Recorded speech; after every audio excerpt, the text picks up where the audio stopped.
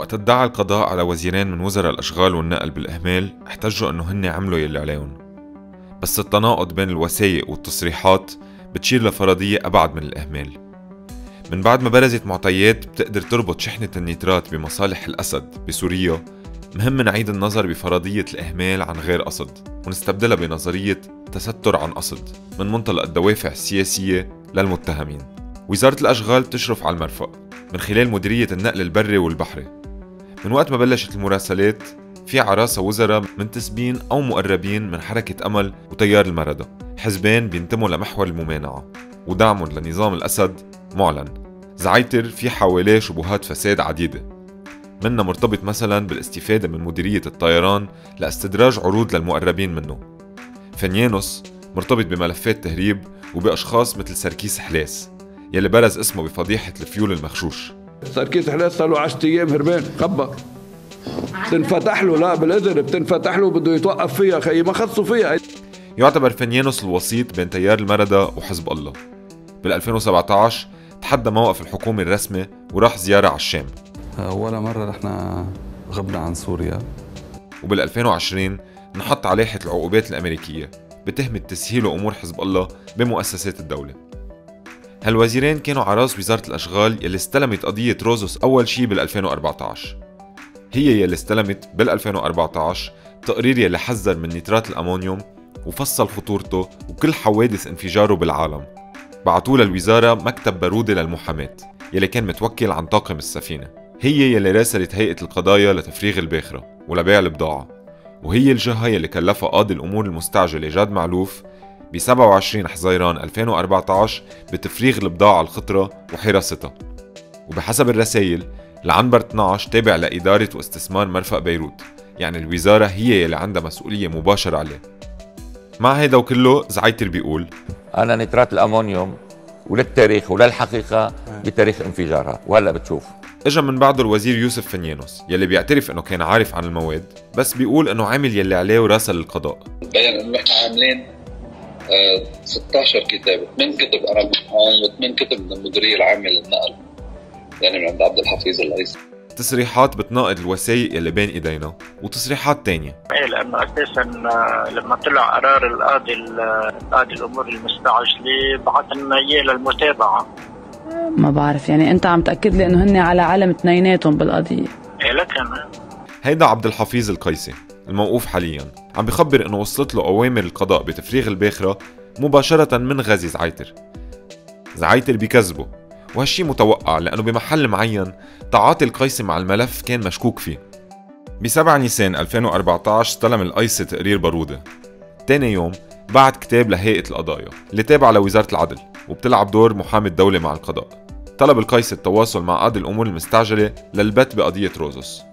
رجع بعت رسائل تذكير ب 14 نيسان وب 2 حزيران 2014 الغريب إنه ولا رسالة ذكرت المعلومات يلي بين إيديه عن خطورة النيترات مثل ما وردت بتقرير بارودة. الكتب بتقول إنه مصنف خطرة بس هالخطر هو على سلامة الملاحة البحرية وعلى البيئة.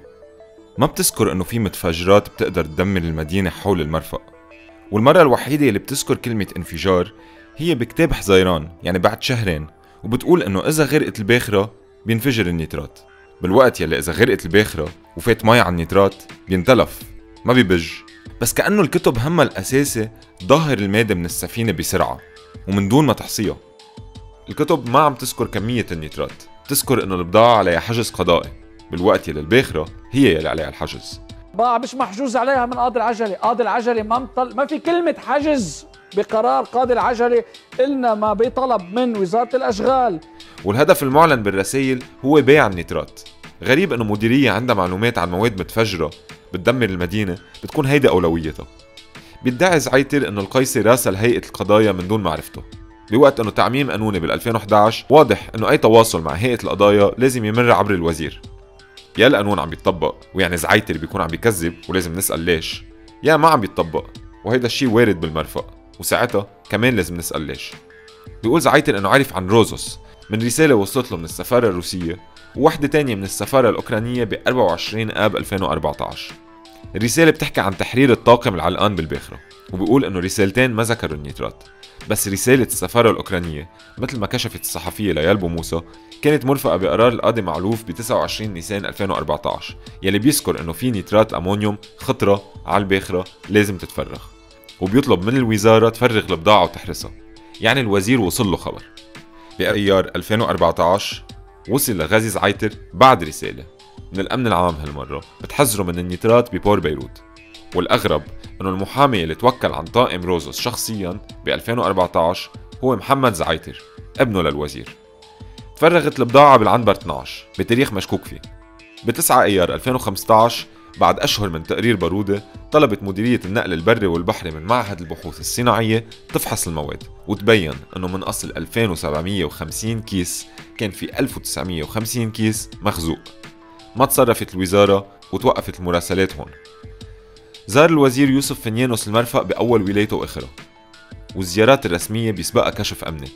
حجة فنيانوس هي أنه بعت رسائل للقضاء والقضاء ما جاوب. الخمس رسائل يلي موقع عليهم فنيانوس يلي بين إيدينا ما بيشيروا إنه المادة قابلة للتفجير. بيذكروا أنها خطر على الملاحة والبيئة والسلامة العامة. ما بيذكروا الكمية أو حالة الحمولة. بيستعمل الكلمات الصحيحة من دون ما يقول شيء. الحديث عن السلامة العامة بيجي بسياق أضرار على البيئة. وإذا القيسي كان هدفه يطلع النيترات من الباخرة ليبيعها فنيانوس عم بيحل إشكالية رسوم. هدفه مثل ما بيبين بالكتب مش طلب التخلص الفوري من المتفجرات إنما طلب تطليع مصاري من النيترات. علما إنه بمجرد ما يعرف الوزير إنه في مواد متفجرة عنده السلطة ياخذ الإجراءات ليتخلص منه. يمكن عم بيراسل القضاء كرمال إذا شي نهار انسأل يقدر يقول نحن عاملين آه 16 كتابه بشباط 2020 سلم فنيانوس الوزارة لميشيل نجار القريب من تيار الماراثون مع إنه فنيانوس كان يعرف واثنيناتهم عندهم نفس المستشار نجار بيقول إنه عرف عن النيترات قبل ب 24 ساعة من الانفجار وقتها وصلت له رسالة المجلس الأعلى للدفاع.